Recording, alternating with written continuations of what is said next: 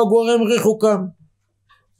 וכל שכן הזוכים להישב לפני הקדוש ברוך הוא בארצו, שכמו רואה פני מלך.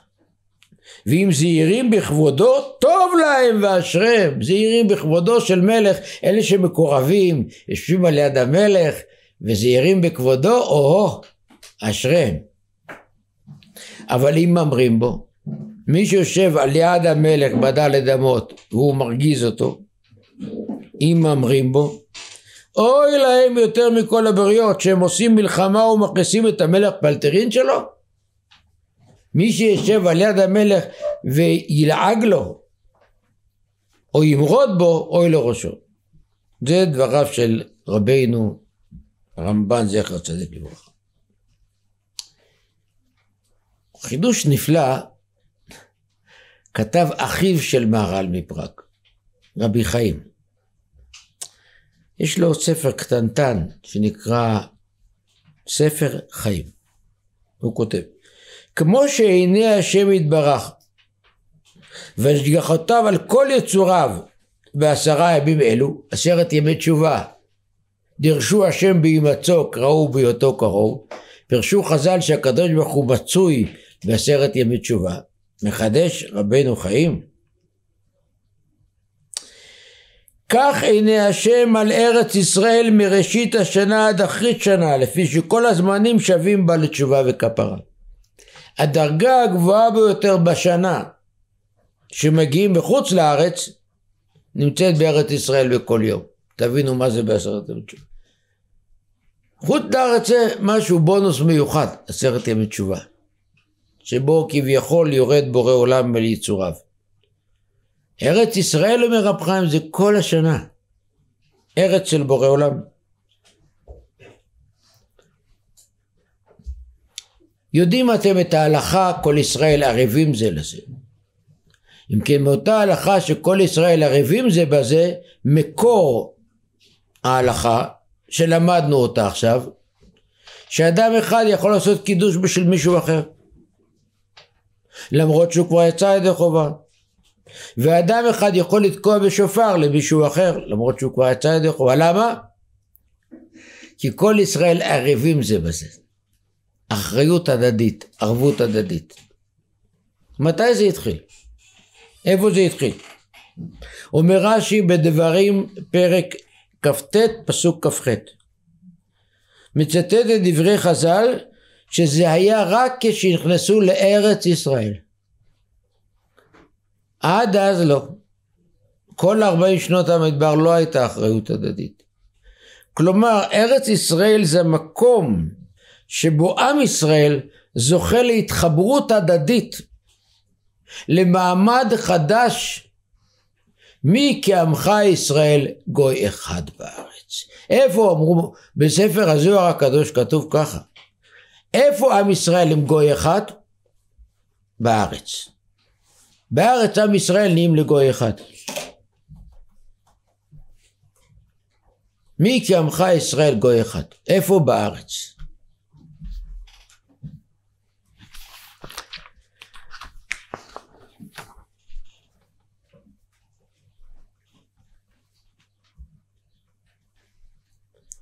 בספר סדר הדורות שמפרט את ההיסטוריה, הוא כותב ככה, מי שיודע, בתחילת מסע הצלב, לפני 900 שנה בערך, הקהילות שסבלו הכי הכי הרבה היו קהילות שום, שפרה, ורמייזה, מגנצה. שלוש קהילות עתיקות יומין, שעוד מזמן רש"י, רבנו גרשום.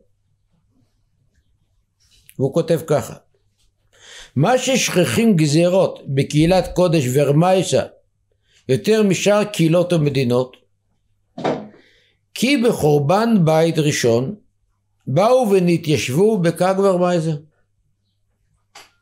בית ראשון כל עם ישראל גלה שבעים שנה הייתה ארץ ישראל שוממה הרוב הלך למזרח חלק קטן הלך למערב ולצפון, הגיעו עד גרמניה. ורמייזה בצפון גרמניה. הגיעו שם. אחר כלות 70 שנות גלות, עזרא חזר עם מעט מאוד אנשים. חזרו גולים לירושלים ולארץ ישראל. אלה אשר היו בוורמייזה לא חזרו.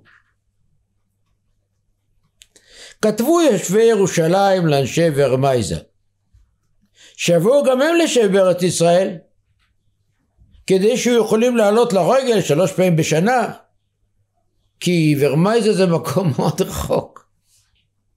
לא יכלו לעלות לרגל. לא השגיחו על זה. אנשי ורמייזה לא רצו לבוא. וכתבו תשובה. שבו אתם בירושלים הגדולה, ואנחנו נדור פה ירושלים הקטנה, גם פה טוב. כי באותו הפעם היו שווים מאוד בעיני השר והנוכרים והיו עשירים גדולים. עשירים לא באים לארץ ישראל אף פעם. גם עזרא הצליח להביא כאן רק עליית מצוקה. תקראו, והגמרא מסבירה את זה בפרק עשרה יחסים בקידושין. רק המעמדות הנחותים. האנשים המבוססים נשארו בבל, נשארו ורמייזה, ובעניין זה נתחדש עליהם גזירות יותר משאר קהילות ומדינות. אומר סדר הדורות, לכן הם נענשים כל כך. כי הם לא עלו לארץ ישראל. על מעשם בארץ חמדה. על זה הם נענשים שם יותר מכל מקום אחר. החפץ חיים בפירושו לתורה, יש ספר פירושים על התורה. כותב ככה: התורה וארץ ישראל הם מן הקניינים שקנה הקדוש ברוך הוא בעולמו. מה פירוש קניינים שקנה הקדוש ברוך הוא? הכל שלו. לשם הארץ ומלואה. אבל יש דברים שהוא הארץ נתן לבני אדם, ויש דברים שהוא כביכול השאיר לעצמו. השאיר לעצמו. על מה הוא השאיר לעצמו? תורה. תורת השם. מה עוד? ארץ ישראל. ככה מסביר הרמב"ן פרשת החרמות. אומר הפסוק ארץ אשר עיני השם אלוקיך בא מראשית שנה ועד אחרית שנה. כל העולם מסביר הרמב"ן שם חילק אותו הקדוש ברוך הוא לשבעים שרים. חוץ מארץ ישראל. זה השאיר לעצמו ארמון של מלך. היחס שביניהם, אומר החפץ חיים, הוא כי יחס הנפש היא התורה, אל הגוף שהוא ארץ ישראל. גם אדם בנוי מרוחני וגשמי. אז ככה גם במציאות. ארץ ישראל היא, היא הגוף של עם ישראל. כי אי אפשר לנפש בלי גוף. אי אפשר לאדם שלא יחיה במקום מסוים. התורה נבדלת מהטבע והיא נשמת ישראל. ארץ ישראל נבדלת מהמי תבל ולכן היא גופו של עם ישראל. וזה למעשה כתוב בתורה. כתוב אצל אברהם וירד מצרימה. תראו ברש"י במקום, מלמד שארץ ישראל גבוהה מכל הארצות. פירוש גבוהה מכל הארצות? די נמוכה. נפאל יותר גבוהה, ואפילו אלפים יותר גבוהים. מה? מה גבוהה כל הארצות? ברוחניות. וירד.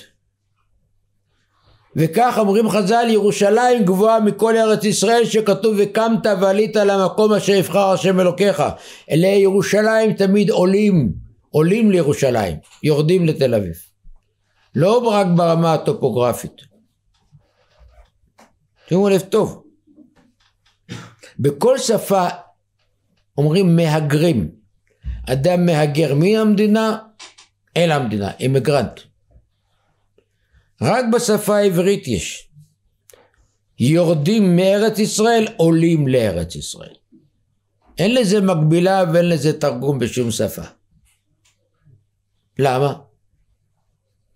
כי ארץ ישראל זה משהו אחר, זה ארץ של אלוקים.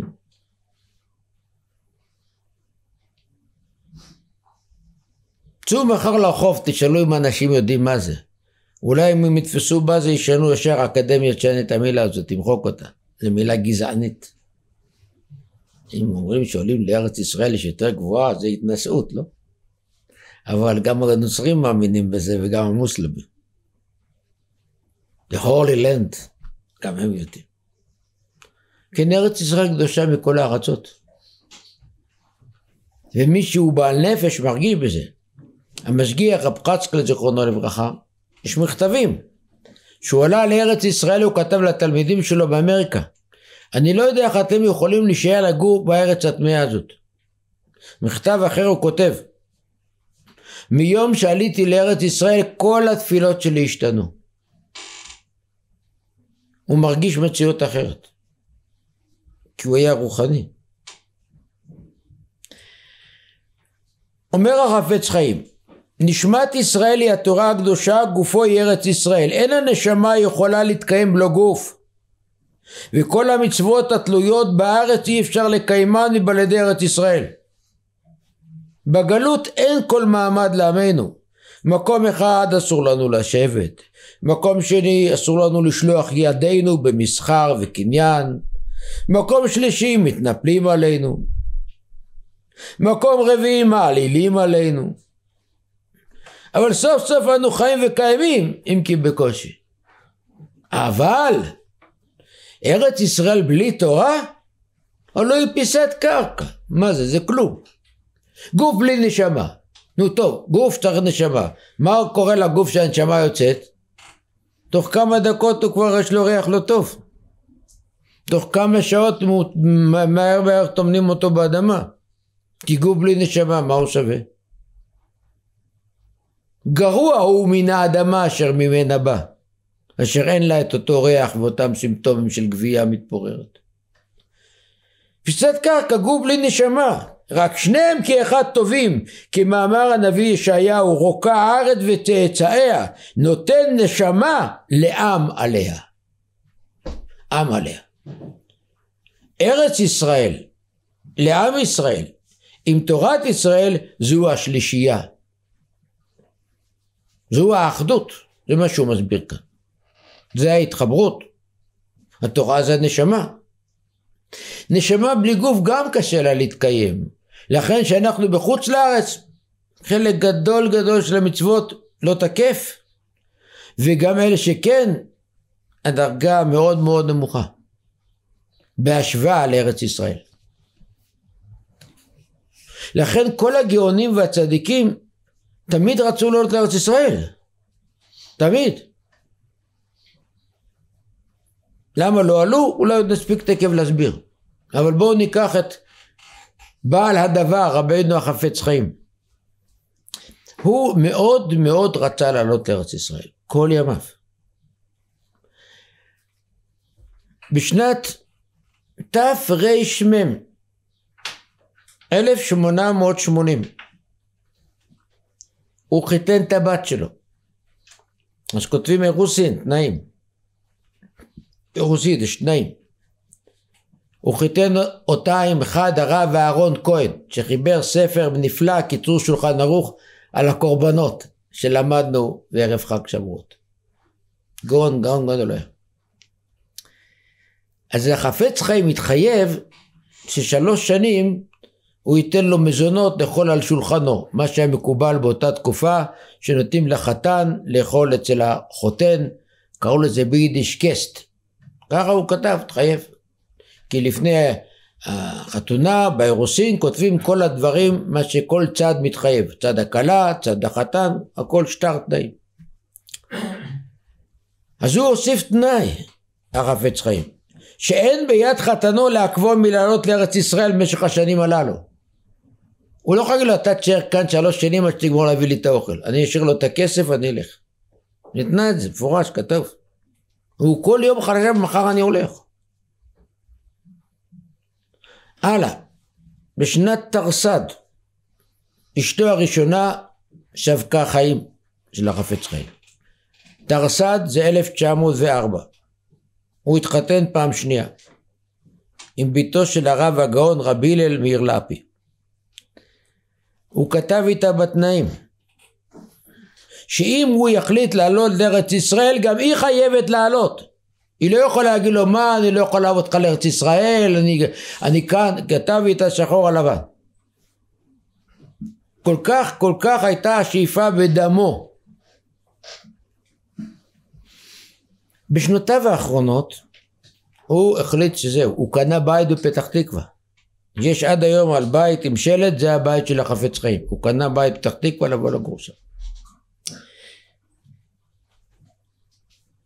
מהשמיים עיכבו אותו. לפני כן הוא רצה לנסוע, באה משלחת של כל גדולי הרבנים, זקנים, ולהגיד לו, אתה חייב להישאר כאן לטובת היהדות, התורה, יראת שמיים, כפו עליו הר כגיגית. פעם, פעמיים, בסוף הוא אמר, זהו, נגמר, אני זקן, יש לכם כבר רבנים בלעדיי, ובשנת 27, תרפ"ז, הוא כבר קנה כרטיסים, זהו.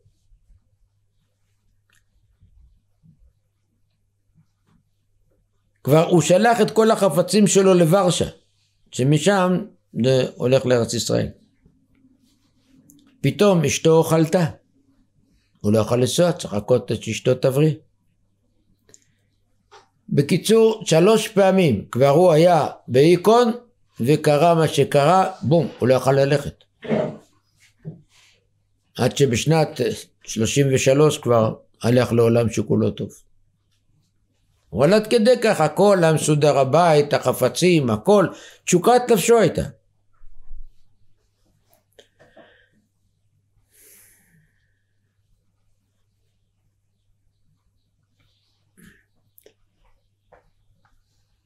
זה קצר כרגע מצע משתרע להסביר את כל ההיסטוריה, את כל ההשתלשלות, בית ראשון, בית שני, תקופת הגאונים, איך עלו ולמה לא עלו ומתי עלו ומה היו כאן המאורעות, המלחמות.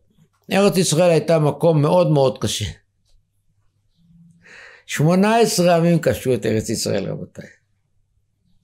תבדקו באטלס קרתא.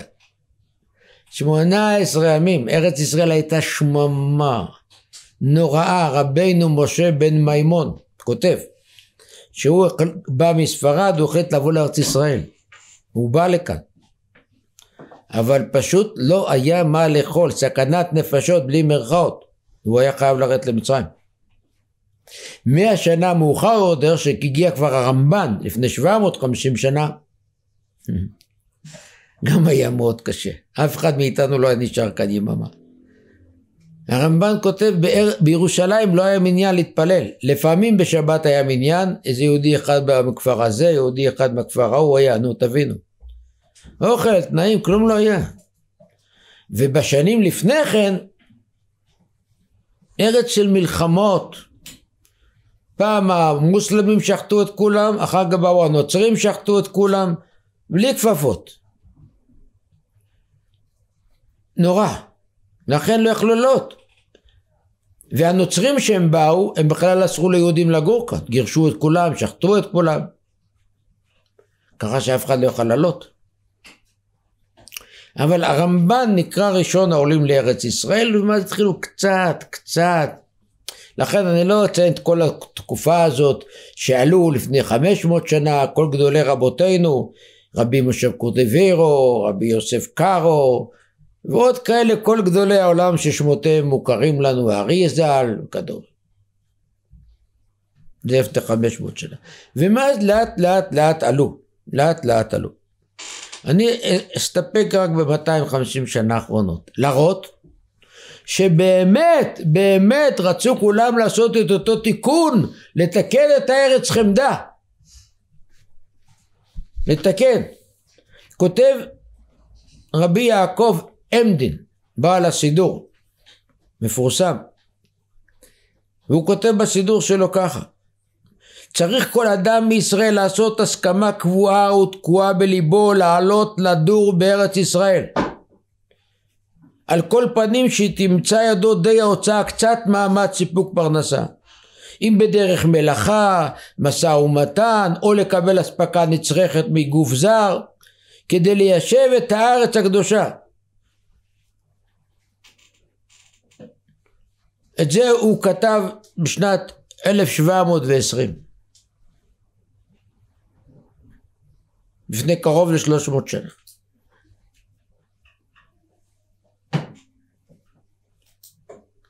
והוא ממשיך. אתם יודעים למה כל הצרות באות עלינו בגלות? אני אסביר לכם. כי מה עשו בארץ חמדה? אין אחד מאלף מתעורר להחזיק בה. בהיותנו בשלווה בחוץ לארץ.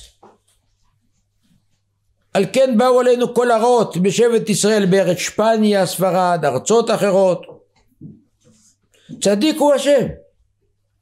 כי יצא מדעתם לגמרי עניין גלותם והתערבו בגויים וכן הלאה וכן הלאה. זה הקדמה לסידור שלו, אתם יכולים לומר.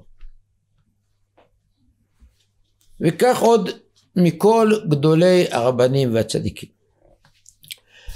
הייתה עלייה איטית, רבינו השלה עלה לפני 350 שנה, הוא היה הרב אשכנזי הראשון של ירושלים. הייתה עלייה איטית מארצות המזרח ועוד יותר איטית מארצות אשכנז, זה היה רבי יהודה החסיד עלה לכאן לפני 300 שנה עם בערך 400 איש מאירופה, לא ניכנס לפרטים, בואו נתמקם ב-250 שנה האחרונות. תנועת החסידות שמה בראש מעיינה את ארץ ישראל. ראש מעיינה היא שמה לעלות לארץ ישראל.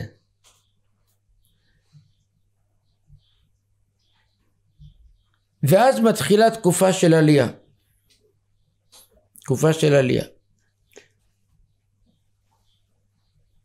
על פי כתבי הגר"א, על פי הזוהר הקדוש, יוצא שצריכה להתחיל התעוררות של גאולה בשנת תק. כלומר אמצע האלף השישי. חמשת אלפים וחמש מאות, חמש חמש. ובאמת אז התחיל זרם של עלייה.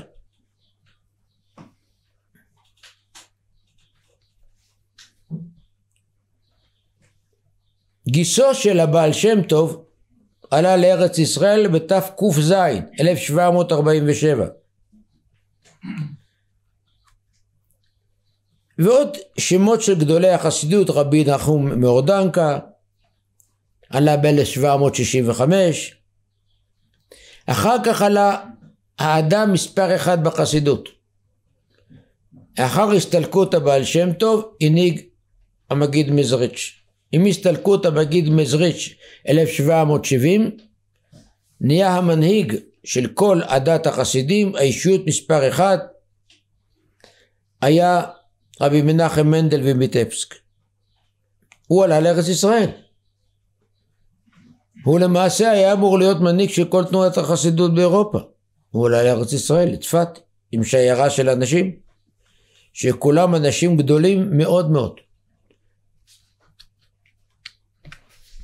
התנאים היו לא נסבלים, לא נסבלים. אבל שימו לב טוב. מיד לאחר עלייתם לארץ, בשנת 1774, תקל"ד, הממשלה הפולנית הוציאה איסור על עלייה לארץ ישראל. למה? ממי סחטו את המיסים? מי נתן את הכסף? היהודים. אם היהודים יצאו מפולין, מאיפה, את מי הם יחלבו? וזה נוסח, ההוראה. על פי הוראת המועצה שהודיעה דבר יציאת היהודים לירושלים, תשלח פקודה לכל הקהילות ששום יהודי לא יעז לעבור על הגבול הטורקי בלי תעודת דרך מהקהל. אוצר הכתר יבוא בדברים במחלקה הצבאית, יצבו על המשמרות העומדים על הגבול לאסור את היציאה של היהודים העוברים את הגבול בדרך לירושלים. כל פעם שיש התעוררות לבוא לארץ ישראל הטומאה בדיוק כמו אצל המרגלים ועוד הרבה הרבה פעמים היא לא יכולה לסבול את זה. מזהירים את הקהילות שלתועלתן תעכבנה את היציאות האלה לירושלים כי הקהילות תהיינה חייבות לשלם את המיסים לממשלה לפי המכסות שנקבעו מכפר. לא חשוב, יהיה פחות יהודים, אתם כל אחד ישלם דאבל. ניתן בוורשה 27 ל-11, 1777, 1777, תראו. הלא דבר הוא. נחזור לרגע, אותם אנשים שבאו לארץ ישראל, ממש רעב היה, לא יאומן. ביטחון הפנים, איפה לא משטר, לא שלטון, הפקרות. תראו מה כותב רבינו החידה. שהוא הגיע לארץ ישראל ב-1764, תקכ"ד. ויהי בדרך בא עלינו התנין הגדול, ראש בריוני אבו גוש, היו סמוכים לו 250 רשעים עדת מרעים, רצה לבולענו חינם, ואחז בשרי פלצות, הנתה סבבוני כלבים, ושבח לקל יתברך, כי לא קרבנו בדלת אמות שלנו, לא קרבו בדלת אמות שלנו, ונתפשרנו במאה זלוטי, ברוך פודה ומציל. במאה זלוטי זה מטבע פולני, הסכימו לרדת מעלינו כל הפראים האלה. ככה היה. אבל אף אחד לא ירד מהארץ רבותיי. נשארו עם כושר הקושי והסבל. אף אחד.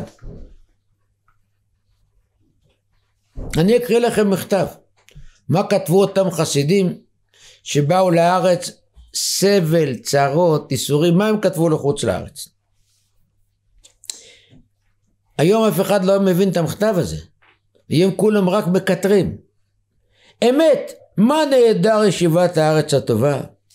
אמת, מה נפלא חיבת ארצנו? אמת, מה נאה קודש? זיו הדר ישיבתה והליכתה, שיבתה וקימתה, שלוותה ושלמותה, גם בחורבנה אין כדמיונה, בשיממותה אין כמותה, בשלוותה אין דקבתה. בארמית. טוב עפרה ואבניה, טוב תבואתה ופירותיה וירקותיה, טוב זכות אווירה, טוב השגת תורותיה, טוב ריבוי מצוותיה, טוב טהרת קדושותיה, טוב הליכות השם מצלת אנשים מביאה לחיי עולם הבא. את זה כותב רבי אברהם מקליסק. הוא הנהיג את הדת החסידים אחרי הסתלקותו של רבי מנחם מנדל. גם אדם גדול בענקים.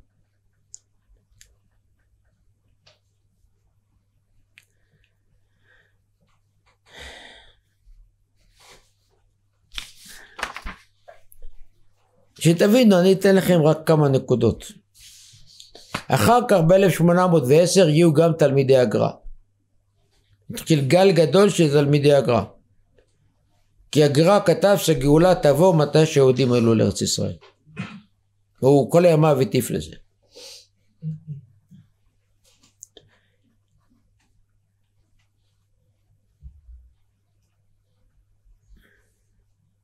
בשנת 1813 מנה ציבור תלמידי הגר"א בארץ 511 נפשות. שלוש שנים מאוחר יותר, 188, שליש. איפה השני שליש? מתו במגפות. אלה נתונים מדויקים. אני רק אתן לכם רמז. בשנת 1812 הייתה עת צרה ליעקב מגפה גדולה, כמעט נחרב כל היישוב בצפת, הם באו לגור בצפת. תוך ימים אחדים נפחו אלפים את נפשותם, ולא נשארו כי אם חמישית, אתם שומעים? 80 אחוז מתו, מגפות. לא היה כמו היום תרופות, אנטיביוטיקה בבתי חולים. אלה שנשארו ברחו להרים, שלא ידבקו מהחיידקים. אימם רבי ישראל וביתו, רבי ישראל משקלוף.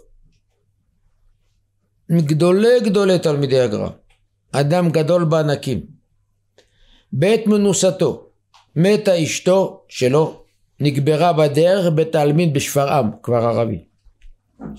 גם חתנו מת, נכדו, שני בניו, שני בנותיו והוריו.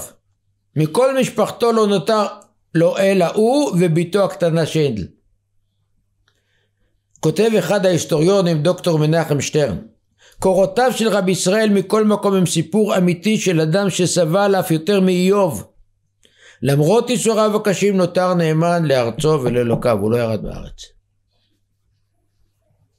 רק לשם השוואה קטנה, מהבילויים שעלו ב-1882, שני שליש ירדו מהארץ. סך הכל 59 היו אנשים שעשו מהם לגנדה, אגדה, וזה סיפור בפני עצמו. ירדו. עלייה שנייה, שהייתה העלייה החילונית הראשונה, של אנשים חבר'ה צעירים שברחו מרוסיה לארץ ישראל, הבולשביקים בגלל המהפכה הראשונה נגד הצאר שדיכאו אותם וחיפשו אותם. כותב בן גוריון ביומן שלו עלו לארץ עשרים אלף. נשארו אלפיים עשרה אחוז. תשעים אחוז ירדו חזרה. חצי חזרו לרוסיה חצי חזרו לאמריקה. הארץ קשה ירידה. תראו אותם גאונים וצדיקים וקדושים. בואו נמשיך הלאה. ב-1825 התחיל שבר ענן מעל צפת, שלא הפסיק הגשם. כתוצאה מכך כמעט כל הבתים התמוטטו בצפת, זה הרי לא בטון, ובית נפל על בית, ונקברו אלפים. גם רב, ביתו של רבי ישראל משקלוב התמוטט עוד פעם. הוא חזר לצפת ושוב אסון חדש. בדרך נס הוא ובני ביתו ניצלו. עוד לא גמרו לצאת מהחורבות, התחיל מגפה של דבר. תמיד כשיש הרוגים, אחרי זה נהיית מגפה. מגפה של דבר.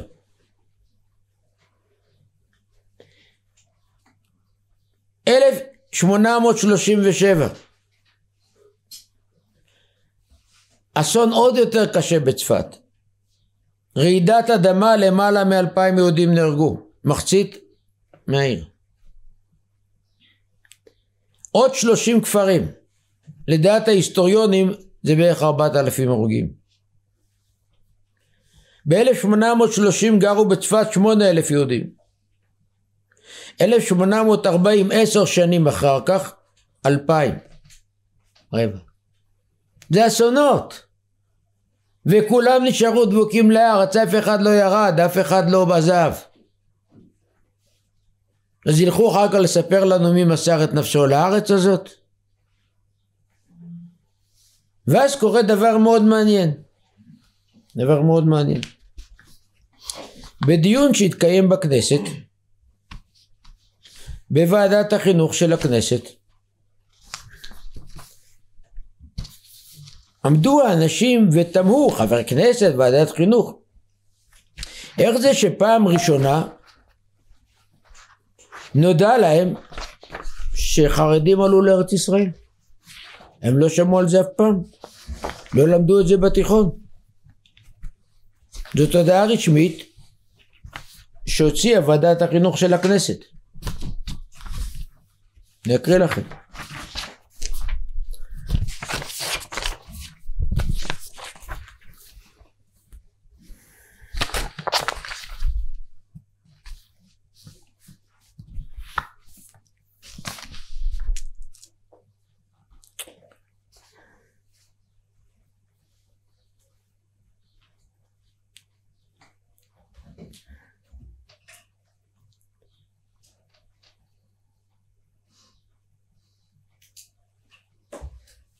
בעוד שמגנזי ארכיוני ההיסטוריה היהודית ישראלית עולות עדויות וחומר תיעודי רב בדבר העלייה וההתיישבות היהודית במאה ה-18 וה-19 מידע חיוני זה לא הוזכר ולא במילה בספרי ההיסטוריה הרשמיים ותוכנית הלימודים של מערכת החינוך הממלכתי במדינת ישראל.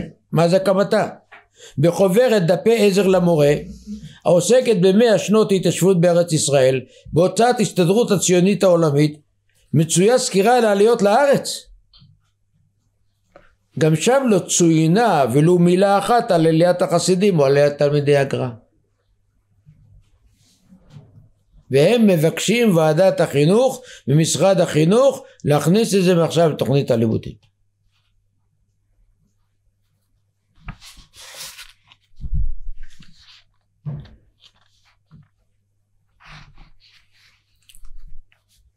וכותב אחד החוקרים, דוקטור שטרן, שיבת ציון החלה לדעתי עם עליית החסידים שהייתה העלייה המשמעותית הראשונה. בקביעתי זו חולק אני על חוג רחב של היסטוריונים בהם גרץ ודובנוב הסוברים כי העלייה הראשונה בשיבת ציון המחודשת החלה רק בשנת 1882 כמאה שנה לאחר עליית החסידים הם גורסים שעליות לפני זה לא היו בעלות ערך רב אלא היו לדעתם רק ספיחי תנועות משיחיות. הבנתם? את המגמתיות? אשר בשם מדע והיסטוריה ודוקומנטים באים ולוקחים ביודעין אלפי אלפי אנשים שמסרו נפשם לגור בארץ. הם היו העילית של היהודים באירופה העילית גדולי הרבנים והצדיקים מעלימים את זה ולוקחים דברים שוליים ומגדילים אותם ואז כדי לעוור את עיני האנשים בצורה מגמתית, היום כבר יש לזה הרבה מחקרים, זה לא עכשיו הזמן לפרט, קראו לזה עלייה ראשונה. למה זאת ראשונה? ומה היה לפני כן הדס? הם לא הגיעו לוואקום.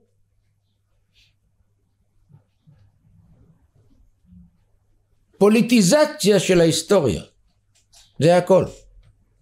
כדי לא להראות את חלקם של החרדים, שהם אלה ששמרו את הארץ הזאת. לויד ג'ורג', ראש הממשלה, בזמן מתן הצהרת בלפור. אמר רק בזכות אותם אנשים שגרו כאן עד עכשיו אתם מקבלים את הצהרת בלפור. אותם אנשים. מהרמב"ן שהתחיל לפני 750 שנה. מהאור החיים הקדוש שהגיע לפני 260 שנה. ועוד כהנה שמות למכביר. אותם אנשים. ואני מקוצר הזמן לא אראה לכם את כל סוגי העלייה. ב-1836 הגיע לכאן מונטיפיורי, אותו שר בריטי, אותו יהודי שהוא היה חוזר בתשובה אגב. הוא הגיע לצפת בשנת 1839, לאחר כל האסונות. והוא כותב ביומן שלו סר משה מונטיפיורי. הגברים רמי קומה רחבי כתפיים, תואר פניהם יפה, אנשים נחמדות למראה, עיניהם גדולות ושחורות, הליכותיהם מלאות חן נימוס ושיחותיהם מפיקות שכל טוב, כך הוא כותב ביומן. יהודי צפת נחשפים מאוד להתפרנס מיגיע כפם, בייחוד חשקה נפשם בעבודת האדמה. אני ראיתי כי כל האנשים תאבים לעסוק בעבודת האדמה. ואז ילמדו אותנו רבותיי, מאה שנות היסטוריה שהחרדים לא רצו לעבוד, שהם לא רוצים אדמה, לא רוצים התיישבות, והדביקו את הסטיגמה יהודי החלוקה. ואז נקים מדינה חדשה שהיא כמובן לא תיקח חלוקה, לא נדבות, אלא רק עבודת כפיים. המדינה מקבלת היום שלוש מיליארד דולר מאמריקה. בשנה אחת יותר נדבות מה שקיבלו היהודים כאן ב-700 שנה. רק ההבדל שיהודים קיבלו לפחות מיהודים, כי מגוי אסור לקחת דקה, והם מקבלים מהגוי. זה חילול השם הגדול. היהודים קיבלו צדקה בשביל לחיות, כי לא היה מה לעבוד, כי הגויים לא נתנו להם. והם לוקחים שלוש מיליארד בשביל לוקסוס, זה ההבדל הקטן.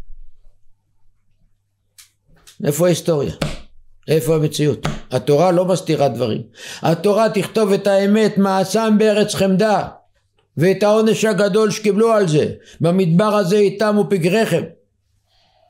אבל עלינו לפקוח את העיניים ולדעת. ולמה זה לא יתפתח בקצב הזה?